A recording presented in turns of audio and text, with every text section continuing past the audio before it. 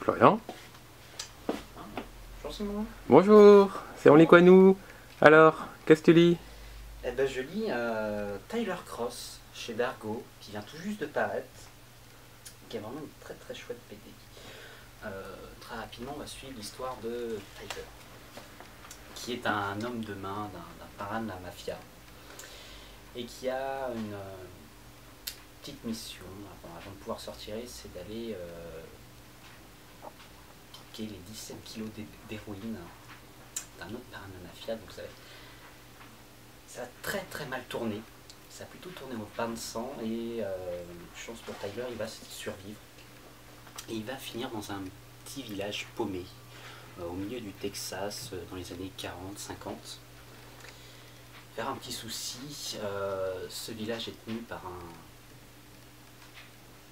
gros mania du pétrole, un peu barge sur les bords. Et il voit pas d'un très bon oeil que euh, Tyler s'invite dans, son, dans sa petite ville. Ça va être assez mouvementé pour euh, d'une survivre et de deux garder les 17 kilos d'héroïne que tout le monde veut s'accaparer.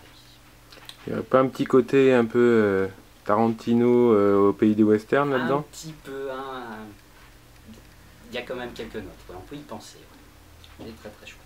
Tu nous rappelles les auteurs de, de cette BD Alors, les auteurs sont euh, Nuri et Bruno.